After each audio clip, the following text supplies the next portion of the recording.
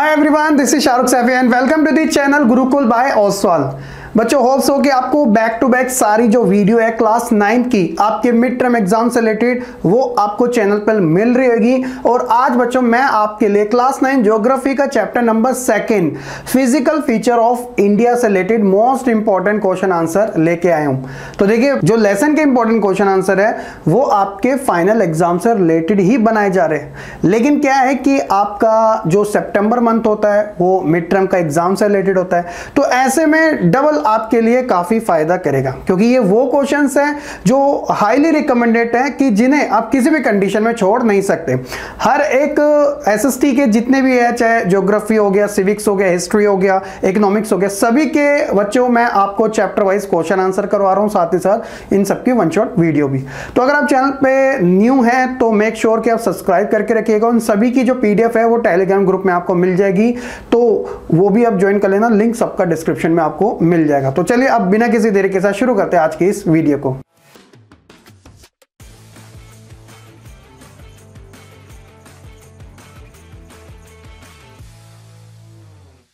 शुरुआत करते हैं बच्चों अपने स्टार्टिंग वाले में, जिसमें हम एमसीक्यू से रिलेटेड बात करेंगे, क्योंकि आप जानते हो 20 क्वेश्चन आपके स्टार्टिंग में एमसीक्यू ही आएँगे। देन उसके बाद short and long question question number first है फैक्ट बेस्ड है।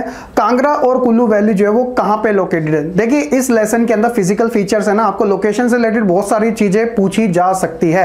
तो मेक श्योर कि आपको जो जो चीज़ें यहाँ पे बताई जा रही है, वो अच्छे तरीके से आप याद रखिएगा, ठीक है? तो यहाँ पे अगर कुल्लू वैली और कांगड़ा के बारे में पूछा जा रहा है तो ऑब्वियसली सभी को पता ही है, हिमाचल प्रदेश साइड में आपको मिल जाएगी। ऑप्शन नंबर ए राइट है। दूसरा है दूधवा नेशनल पार्क।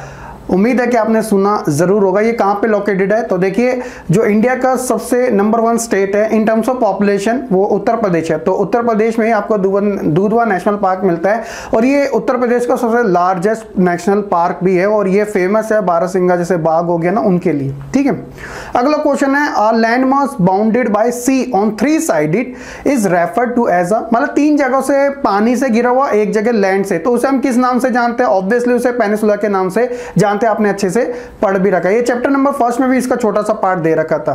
फोर्थ क्वेश्चन है कि जो माउंटेन रेंज होती है ईस्टर्न पार्ट में इंडिया के, वो forming its boundary with Myanmar and collectively called as तो जो ईस्टर्न साइड में, यानी कि पूर्वी साइड जो बोलते हैं तो इसे हम पूर्वांचल के नाम से रिप्रेजेंट करते हैं। ठीक है, Purvanchal. Option number D is the right answer which two hills are located in the south east of eastern Ghat तो वैसे हमारे दो घाट है। अगर आप देखोगे, ये वी शेप में जो हमारा बिल्कुल नीचे साइड में आता है तो बिल्कुल मिड साइड में आप देख सकते हो, महाराष्ट्र साइड में। तो ईस्टर्न और वेस्टर्न, यहाँ पे south east of eastern Ghats के बारे में पूछा जा रहा है तो यहाँ पर आपको जवेड़ी और शिरोवई हिल्स आपको ज़्यादा देखने को मिलेगी तो ऑप्शन नंबर ए जो है, वो राइट आंसर होगा। क्वेश्चन नंबर सिक्स है कि in which division of Himalaya are the famous valley of Kashmir Kangra and Kullu तो अभी वैसे हमने स्टार्टिंग में पढ़ा था तो आपको इससे भी आइडिया लग चुका होगा ऑप्शन नंबर सी जो है, उसका राइट आंसर होगा, हिमाचल प्रदेश। आगे कि which of the following is the highest peak भाई, सबसे हाईएस्ट पीक के बारे में बात हो रही है तो कंचनजुंगा का नाम ना ले, ऐसा हो नहीं सकता। Option number C right answer है। और ये लोकेटेड है वैसे सिक्किम स्टेट में आता है, लेकिन इसकी सीमा आपको नेपाल साइड में मिल जाएगी, क्योंकि सिक्किम के साइड में ही नेपाल कंट्री का बॉर्डर भी टच हो जाता है। जियोलॉजिकली बात पूछी जा रही है कि which of the following physiographic division of India is suppose to be one of the most stable land block तो वो बात हो रही है पेनिसुलर के बारे में ही। ये पेनिसुलर प्लेटू जो है, इसी साइड में। यानी कि आप जो डेकन साइड देखते हो ना, यानी कि जो हमारा गोवा और महाराष्ट्र साइड है, यहाँ पर आपको ये चीज़ें ज़्यादा मिलेगी। According to the theory of plate tectonics what have been affect of the movements of the plates तो इसका जो इफ़ेक्ट होता है change in the position and size of continents obviously formation of the ocean basin ये बात भी बिल्कुल ठीक है. Evaluation of the present land form and relief of India ये बात भी ठीक है. जब सारी ठीक है तो हम इसमें क्या कर सकते हैं? ऑप्शन नंबर डी के साथ आराम से जा सकते हैं. एंड लास्ट क्वेश्चन है एमसीक्यू से रिलेटेड जो कि which of the following is possible theory की presented by the earth scientist to explain the formation of the continent and ocean and the various land form तो उसकी जो सबसे perfect theory है, वो थ्योरी ऑफ़ प्लेट टेक्टोनिक्स के बारे में है, जिसका आंसर अभी उसके वेरियस रीजन अभी इस नाइन्थ वाले क्वेश्चन में हमने देखे थे, ये सारे रीजन आपको देखने को मिल जाएँगे, ठीक है? तो ये कुछ बेसिक्स लेकिन इंपॉर्टेंट क्वेश्चन हैं, आप इन्हें ज़रूर कवर कीजिएगा।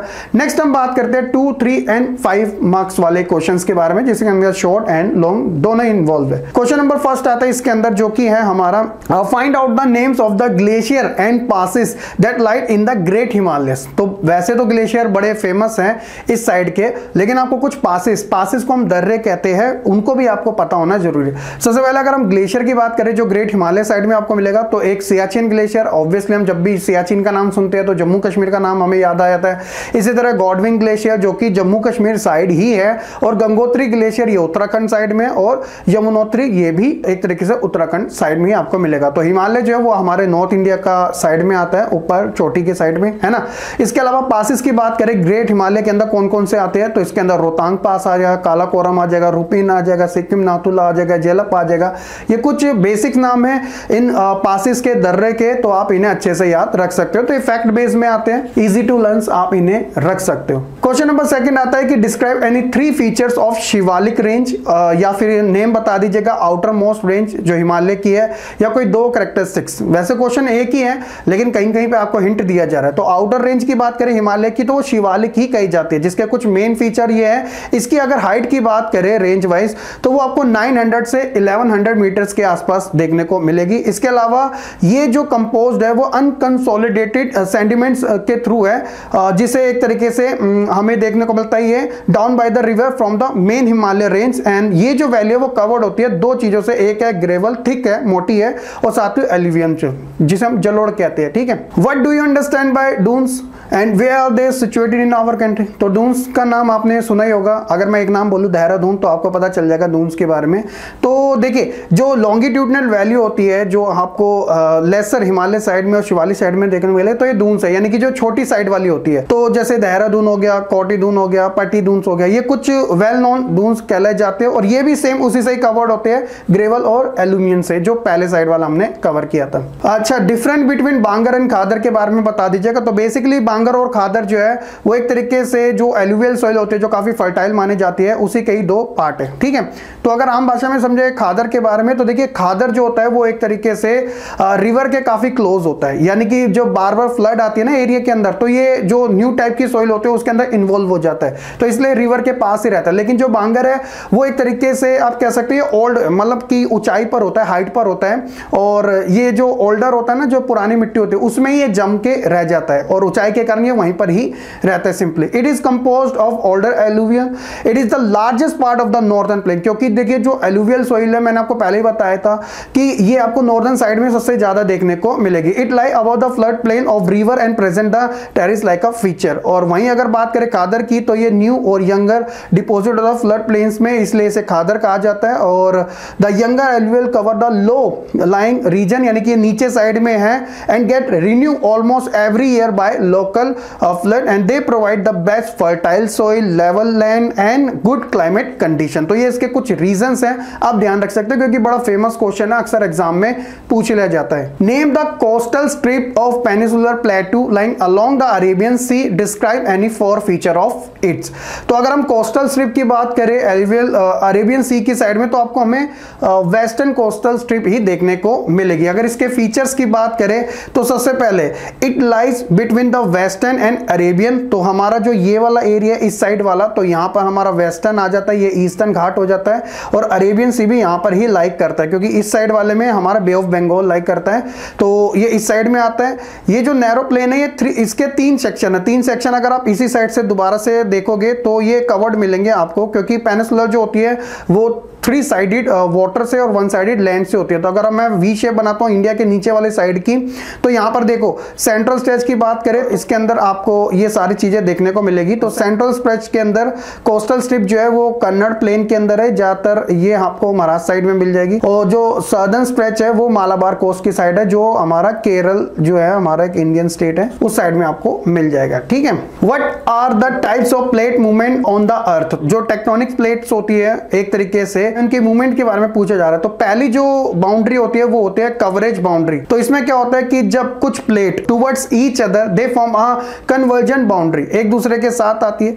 तो it may also be called a folding movement दूसरी होती है डाइवर्जन तो डाइवर्जन में क्या होता है कि जब कुछ प्लेट एक दूसरे से दूर हो जाती है तो ये डाइवर्जन बाउंड्री कहलाती है। इसे फॉल्टिंग मूवमेंट के नाम से भी जानते हैं। और ट्रांसफॉर्म वाली क्या होती है? जब एक दूसरे के पास आते हैं, यानी कि कमिंग टुगेदर या कभी कभी होता है they may either collide slide and crumble यानी एक दूसरे से टकरा भी जाती है और may slide under the other एक दूसरे के नीचे साइड भी आती है तो इसे हम ट्रांसफ़र बाउंड्री के नाम से जानते हैं। तो कवरेज डाइवर्जन और साथ ही साथ ट्रांसफ़र तीनों के बारे में अलग से ही पूछा जा सकता है, वरना एक सिंपली इसके टाइप्स के बारे में पूछ लिया जाता है। क्लासिफाई करना है आपको Himalaya on the basis of region from west to east तो सबसे पहले अगर हम बात करें तो सबसे पहले आता है पंजाब हिमालय तो इसका जो पार्ट है, वो लाइक करता है बिटवीन द रिवर कौन सी इंडस और सतलुज, जो कि आपको जम्मू एंड कश्मीर साइड में आपको मिल जाएगी, है ना? It is also known as the Kashmir and the Himachal Himalaya Kumaon Himalaya की बात करें तो इसका जो पार्ट है, वो सतलुज और काली रिवर्स के आसपास मिलेगा। और वहीं नेपाल की अगर बात करें, नेपाल हिमालय की तो इसका जो पार्ट है,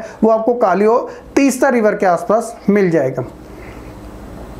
अगला आता है कि why is the black soil area in the peninsular part call Deccan trap तो क्यों कहा जाता है ब्लैक सॉइल एरिया को पेनिसुलर पार्ट और डेकन ट्रैप के नाम से? तो देखा जाए तो ये जो ब्लैक सॉइल है पेनिसुलर प्लेटू की, वो एक वोल्केनिक ओरिजिन की वजह से बनी है, जो कि आपने पढ़ा होगा टाइप्स ऑफ़ रॉक्स के अंदर, जिसमें थ्री टाइप्स के आते हैं। तो जो पहली वाली जो रॉक्स होते हैं, उसे इग्निशियस रॉक्स कहते हैं, या इसे प्राइमरी रॉक्स के नाम से भी जान जाते हैं। तो इसके फॉर्मेशन में इसका इंपॉर्टेंट रोल काफ़ी माना जाता है। Actually these rocks have denuded over time क्योंकि ये समय के साथ नष्ट हो जाती है and are responsible for the formation of black soil तो ब्लैक सोइल के फॉर्मेशन में जैसे भी हमने बात करी थी, काफ़ी इंपॉर्टेंट रोल प्ले करती है।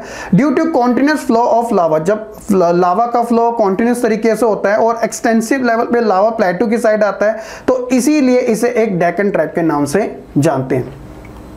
How were the Andaman and Nicobar island formed तो अंडमान निकोबार आइलैंड जो है, आप जानते हो इंडिया की यूनियन टेरिटरी का इसको स्टेटस मिला हुआ है। तो ऐसा बिलीव किया जाता है कि ये जो आइलैंड थे, वो एक तरीके से elevated portion of the submarine mountain in the bay of Bengal तो बे ऑफ़ बंगाल की साइड में ये जो माउंटेन थे समब्रीन माउंटेन यानी कि जो थोड़ा बहुत पानी के नीचे साइड होता है तो उस जगह पे यहाँ पे इलेवेटेड थे। और ऐसा बोला जाता है कि they are located on the submerge या फिर submarine hill range and are probably form by the volcanic eruption यानी कि वो होता है ज्वालामुखी विस्फोट होने की वजह से ये आइलैंड बने हैं। Some of the volcanic mountain वहाँ पे अभी भी स्टिल एक्टिव है and they are large in size और काफ़ी बड़े भी माने जाते हैं and known for their variety of the flora and fauna और यहाँ पे आपको अच्छे खासे जो होते हैं ना पेड़ पौधे जीव जंतु अच्छे खासे बायोडाइवर्सिटी फ्लोरा एंड फोना की हमें देखने को मिल जाती है। अगला क्वेश्चन आता है कि describe the island of India give a brief description of two island of India तो अगर हम देखे जाए तो हमारे देश के अंदर आइलैंड्स की कमी नहीं है, लेकिन हम मेन आइलैंड्स की बात करें तो लक्षद्वीप है, अंडमान निकोबार आइलैंड है है ना? तो India is the union territory of the Lakshadweep in Arabian sea क्योंकि जो लक्षद्वीप है वो अरेबियन सी की साइड आती है एंड अंडमान निकोबार जो कि बे ऑफ़ बंगाल साइड में आती है, यानी कि इंडिया के साउथ वेस्ट में अरेबियन सी आता है, और इंडिया के साउथ ईस्ट की साइड में आपको बे ऑफ़ बंगाल देखने को मिलता है। तो जो ईस्ट साइड है, वहाँ पे तो अंडमान निकोबार है, और जो वेस्ट साइड है साउथ वेस्ट वहाँ पे आपका अरेबियन सी है, और यहीं पर ही लाई करता है लक्षद्वीप। तो लक्षद्वीप जो है, वो एक ग्रुप है कोरल आइलैंड का, जो कि मालाबार कोस्ट मालाबार कोस्ट आपको केरल साइड में देखने को मिल जाएगा केरला साइड में। तो जो छोटे छोटे जो लैंड होते हैं ना, उसकी वजह से ये पूरा लक्षद्वीप बना हुआ है। और यहाँ पे एक पीटी आइलैंड भी है, जहाँ पे बर्ड सेंचुरी हमें देखने को मिलती है, जैसे कि जो फ्लोरा फोना होता है, उनकी अच्छी यहाँ पे हमें देखने को मिल जाती है। द टोटल लैंड एरिया की अगर बात करें ग्रुप की, वो सिर्फ़ 32 स्क्वायर किलोमीटर में है। और वहीं अगर बात करें सदर्न मोस्ट पॉइंट की इंदिरा इंडियन यूनियन की तो जो इंदिरा पॉइंट था at the end of the Nicobar chain जो अंडमान निकोबार साइड में है, बिल्कुल, वो एक तरीके से सुनामी की वजह से 2004 में ही एक तरीके से संक हो गया था मतलब डूब सा गया था। द अगर हम इसी अंडमान निकोबार साइड के एरिया की बात करें तो इसका जो टोटल लैंड एरिया है, इस चैन वो है 8249 स्क्वायर किलोमीटर के अंदर। क्लासिफाई करना है northern plains on the basis of its location तो इंडिया के अगर हम नॉर्दर्न प्लेन्स की बात करें तो तीन टाइप्स के हमें मिलेंगे। सबसे पहले पंजाब प्लेन्स की बात करें तो ये मैदानों के बारे में बात हो रही है, ठीक है? The western part of the northern plain is called the Punjab plain ये एक तरीके से फॉर्म्ड हुआ था रिवर कौन कौन सी? एक इंडस थी और उसकी कुछ सहायक नदियाँ जिसे हम ट्रिब्यूटीज कहते हैं।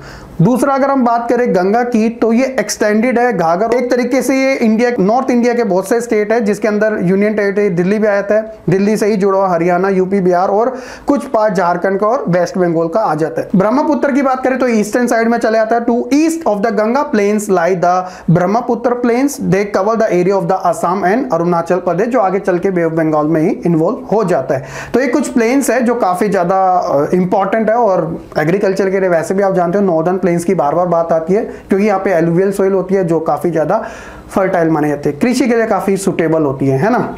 तो ये थे बच्चों हमारे फ़िज़िकल फीचर ऑफ़ इंडिया से related most important question answer ज़्यादा नहीं है इस लेसन के अंदर, क्योंकि देखिए आपका ये जो चैप्टर है, वो आपको इन्हीं चीज़ों से ही रिलेटेड मिलेगा। और एग्ज़ाम के अंदर क्वेश्चन भी काफ़ी लिमिटेड आते हैं इस लेसन से, लेकिन स्पेसिफिक तरीके से पूछे जाते हैं। तो जो जो इंपॉर्टेंट क्वेश्चन थे, वो मैंने आपके लिए इन जो two three and five marks थे, उनमें रख दिया और साथ ही एमसीक्यू वाले तो रख ही दिए थे।